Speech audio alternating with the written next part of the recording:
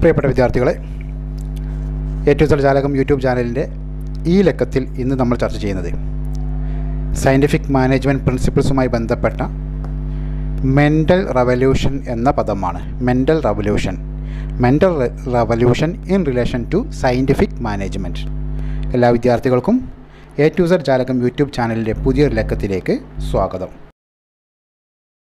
ഇന്നത്തെ ടോപ്പിക്കുമായി ബന്ധപ്പെട്ട് ഇക്കഴിഞ്ഞ പ്ലസ് ടു പബ്ലിക് എക്സാമിൽ ചോദിച്ച ഒരു ചോദ്യം നമുക്ക് പരിചയപ്പെടാം.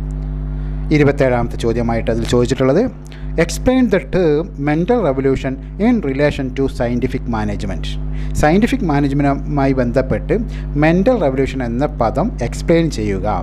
അഞ്ച് മാർക്കിന്റെ ക്വസ്റ്റ്യനാണ് കഴിഞ്ഞ വീഡിയോയിൽ നമ്മൾ എഫ് ഡബ്ല്യു ടൈലറിന്റെ സയന്റിഫിക് മാനേജ്മെന്റ് പ്രിൻസിപ്പിൾസ് നാലെണ്ണം നമ്മൾ വിശദമായി ചർച്ച ചെയ്തു.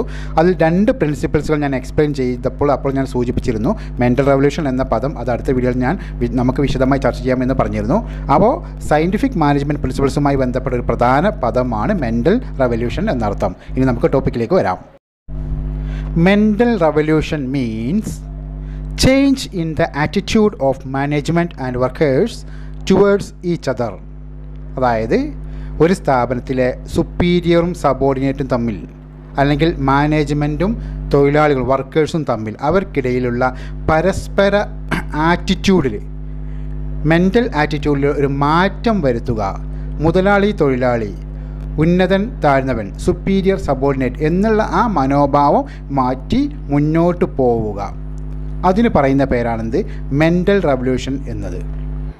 അതായത് change in the attitude of management and workers towards each other പരസ്പരം അവരുടെ ആറ്റിറ്റ്യൂഡിൽ മാറ്റം വരുത്തുക.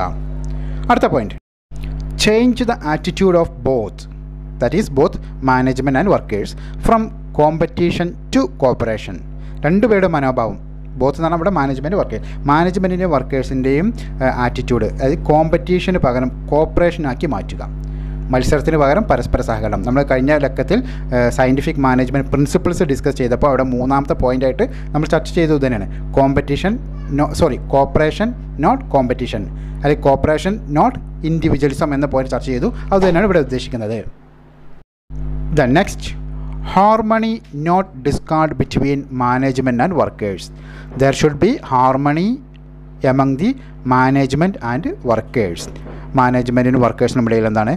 പരസ്പര ഐക്യം ഹാർമ ഹാർമണി ഉണ്ടായിരിക്കണം. നോ ഡിസ്കാർഡ് ഡിസ്കാർഡ് അല്ല. പരസ്പര വിദ്വേഷവും വെറുപ്പും അകൽച്ചയും അല്ല വേണ്ടത്.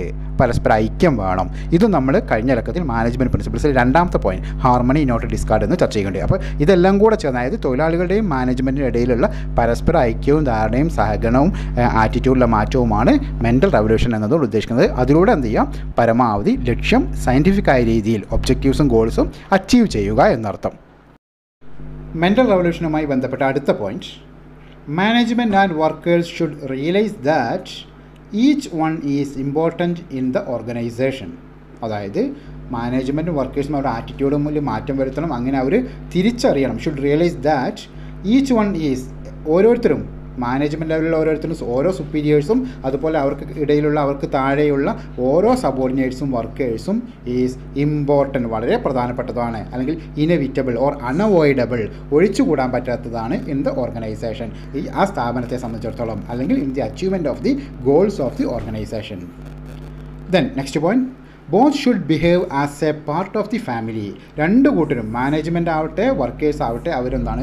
ഒരു ഫാമിലിയിലെ അംഗങ്ങൾ എന്ന നിലയിൽ ബിഹേവ് ചെയ്യണം പെരുമാറണം.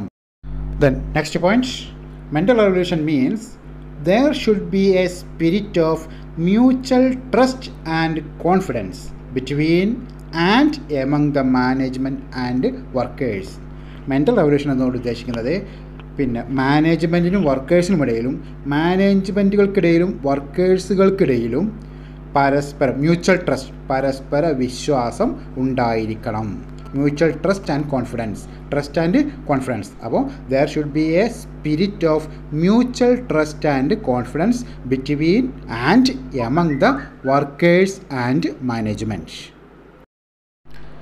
management should share gains with the workers workers should work hard and accept changes for the success of the firm or organisation അതായത് നമ്മൾ ഈ വീഡിയോയിൽ തന്നെ തൊട്ട് മുമ്പ് ഒരു പോയിന്റ് നമ്മൾ ഡിസ്കസ് ചെയ്യുകയുണ്ടായി.